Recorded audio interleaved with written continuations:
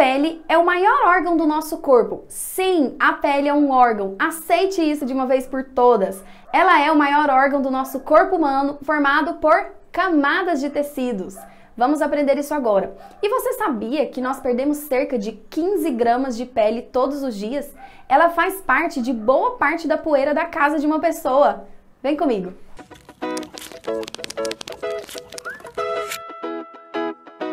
Bom, então vamos entender o que é a pele.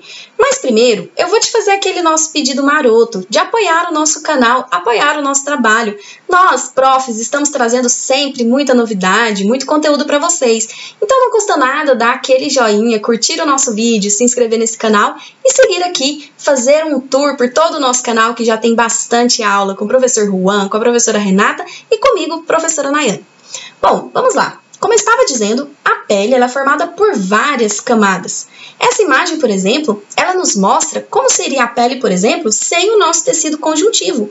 Você com certeza perderia essa camada superficial, que é a camada apenas de revestimento e sensibilidade, que é a epiderme. Vamos entender um pouquinho melhor sobre isso. Lembrando que a pele ela é um órgão e ela é sim o maior órgão do nosso corpo humano. Essa imagem é uma imagem muito bacana do Instituto de Plastinação da Alemanha, que traz essa, essa noção de que a pele é sim um órgão e que ela é muito extensa. Além de suas camadas, a pele também vai conter anexos epidérmicos, que são os pelos, as glândulas, tanto sudoríparas, que produzem o suor, quanto sebáceas, que lubrificam o nosso pelo, os nossos pelos e a nossa pele, e em regiões específicas vamos ter também as unhas como esses anexos. Quais são as funções da pele? A pele tem função de proteção física, mecânica e química, ou seja, tudo aquilo que possa gerar uma agressão para o nosso corpo vai ser retido e vai ser contido aqui na nossa pele. Então, ela vai proteger contra qualquer choque mecânico ou químico que possa ocorrer. Ela também vai gerar uma proteção imunológica, já que nós temos células do tecido imunológico residentes aqui, como os macrófagos, de forma que, se algum agente patológico consegue atravessar as primeiras barreiras aqui da nossa microbiota, do pH e entre aqui em algumas das camadas da pele, teremos células que vão conter essa infecção.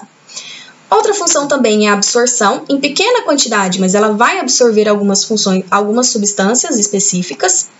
Proteção contra desidratação, já que a camada queratinosa da nossa pele impede que a gente perca água o tempo todo pela pele. E também tato. O tato, inclusive, é uma das funções mais importantes da nossa pele, já que é ela que nos permite perceber o meio, se ele está sendo prejudicial ou se ele está sendo benéfico. Ou seja, se eu tenho um calor intenso, um frio intenso, uma agressão, uma dor. Então, tudo isso está relacionado ao tato e é muito importante a gente perceber como função da nossa pele. Outra função que está muito na moda você entender hoje é a produção de vitamina D, ou seja, a radiação solar na nossa pele vai fazer com que ela converta alguns precursores em vitamina D, e essa é uma vitamina muito importante para todo o nosso metabolismo. Ela também vai proteger contra a radiação solar, que é extremamente prejudicial para as nossas células e leva a mutações e produção de cânceres, por exemplo. E também ela faz parte da regulação térmica do nosso corpo, já que por aqui a gente consegue perder calor e também consegue evitar essa perda de calor. Bom, então vamos compreender agora a estrutura da pele. A pele possui duas camadas, que é a epiderme, a camada mais superficial, e a derme, a camada mais profunda. Profundo a derme, nós vamos ter a hipoderme, que não é uma camada da pele, mas sim uma camada adjacente à pele. Ela também é chamada de tecido subcutâneo ou tela subcutânea.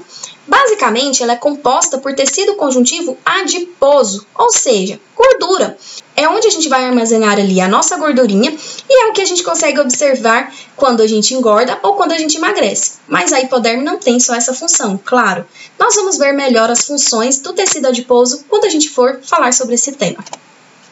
Vamos falar agora um pouco sobre a epiderme. A epiderme é composta por tecido epitelial e ela está em constante renovação, de forma que várias células elas vão sendo perdidas ao longo do tempo, de maneira que a própria abrasão, a sobrevivência do ser humano, a sua relação com o ambiente faz com que células sejam perdidas e essas células morrem constantemente. Mas também camadas de células são renovadas constantemente e por isso ela tem essa alta taxa mitótica.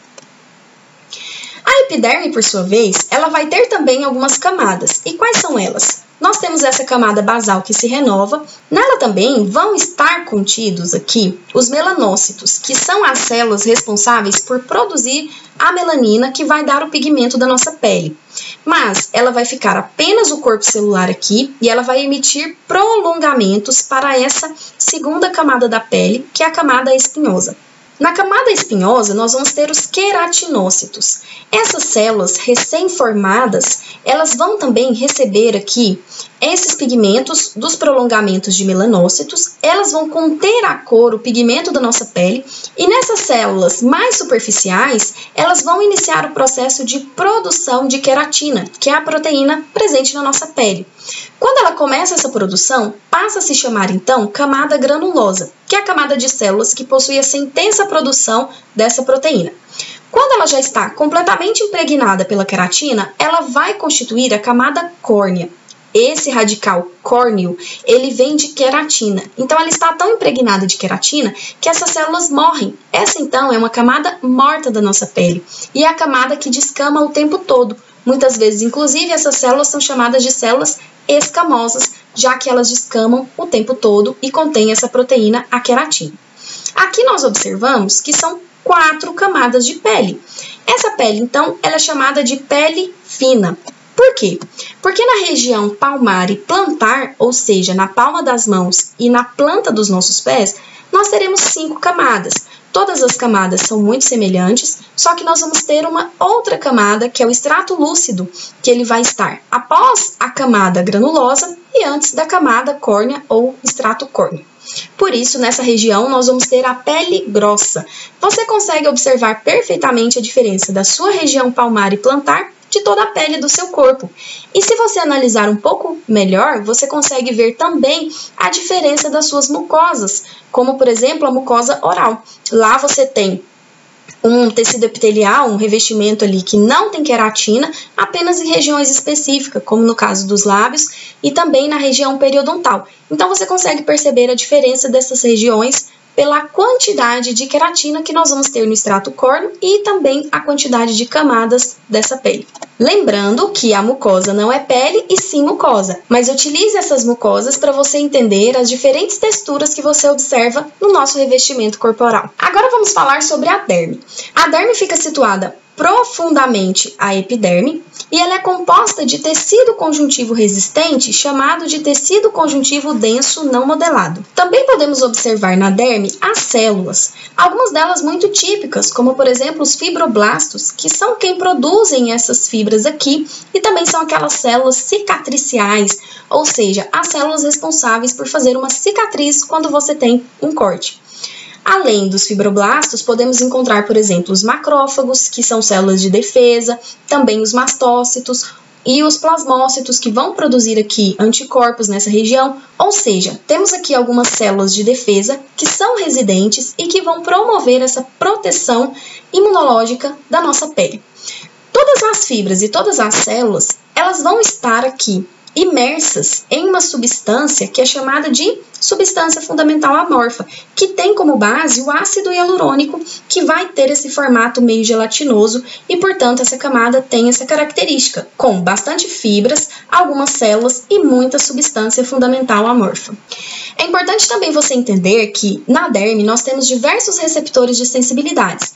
Esses receptores, eles são bastante específicos e eles possuem nomes específicos também. Por exemplo, temos o corpúsculo de Meissner, que vai perceber tato, pressão, vibração, os corpúsculos de Patini para pressão e vibração, de Ruffini para tato. Temos os plexos das raízes pilosas que vão perceber o tato, a sensibilidade aqui na raiz do pelo.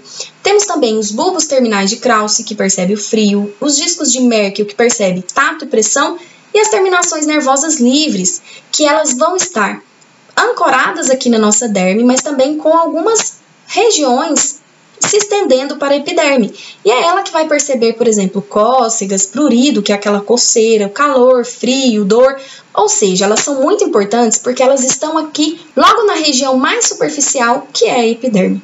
Por fim, vamos observar alguns dos anexos epidérmicos. Temos então as glândulas sudoríparas, que produzem o suor e que elas vão estar espalhadas por todo o nosso corpo.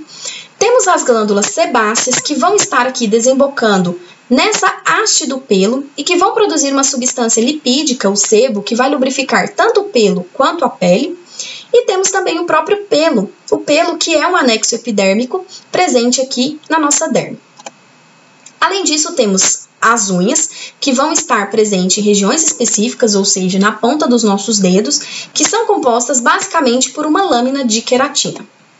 Agora vai uma curiosidade. Nós temos dois tipos de glândulas sudoríparas. Nós temos as glândulas merócrinas ou écrinas, que são aquelas glândulas sudoríparas espalhadas por todo o nosso corpo. Elas vão se desembocar aqui na nossa pele e vai liberar um suor um pouco mais fluido. Ela que é responsável pela regulação corporal de todo o nosso corpo. Mas nós vamos ter um tipo, um tipo de glândula também, chamado de sudorípara apócrina, que vai desembocar, assim como a glândula sebácea, no pelo. Ela vai produzir um suor um pouco mais denso em substância lipídica. E esse suor, sendo mais denso, ele é muito mais suscetível à fermentação das bactérias. E também não é por acaso que essas glândulas estão presentes principalmente na região das nossas axilas, virilhas, na barba dos homens. E aí, nessa região, nós vamos ter essa liberação de um suor mais denso e que pode sofrer o efeito dessas bactérias, gerando uma fermentação muito típica que gera odores. E esses odores são chamados de bromidrose. É aí que a gente tem aquele cheirinho bem típico chamado chulé, CC, que a gente conhece popularmente. Bom, pessoal, terminando agora de falar um pouco sobre esses anexos epidérmicos, falamos sobre a nossa pele, ficamos por aqui e eu espero que você tenha gostado, que você tenha curtido esse vídeo e que você nos veja na nossa próxima aula. Um abraço e até lá!